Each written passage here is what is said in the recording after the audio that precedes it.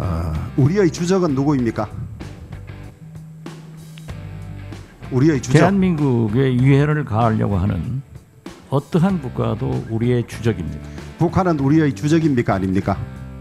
주적이면서 평화와 협력 그리고 통일의 대상입니다. 우리 형제입니다. 2017년 1월 17일 연합뉴스와 인터뷰에서 당시 문재인 대통령 후보에 대해서 너무 극자적이어서 확장성이 없다.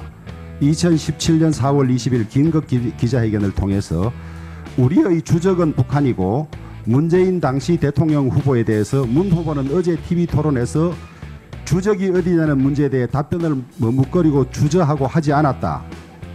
어제 TV 토론을 보고 문 후보의 안보관에 대해서 의심하지 않을 수 없었다. 이렇게 말하신 적이 있죠.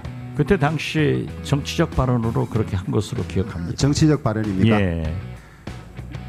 무- 우리의 주적이 북한인 건 틀림없지요. 그것도 정치적 발언입니까? 본인이 우리의 주적은 북한이라고 분명히 말씀하셨어요. 그것도 정치적 그렇습니다. 발언이었습니까? 왜 그걸 자꾸 물으세요? 아니 확인하려고 해요. 말씀드렸는데 그거 기억 못 하세요? 틀림없습니까?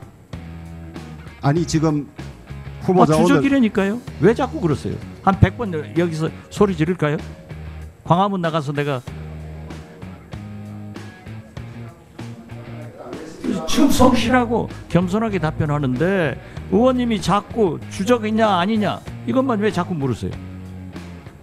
북한이 북한을 탈출한 제35신 고위관리 이정호 말에 의하면 북한이 햇볕 정책을 체제를 발가벗기 되는 위험한 적개 행위로 보았다고 증언하고 있으면서 그래서 북한은 역으로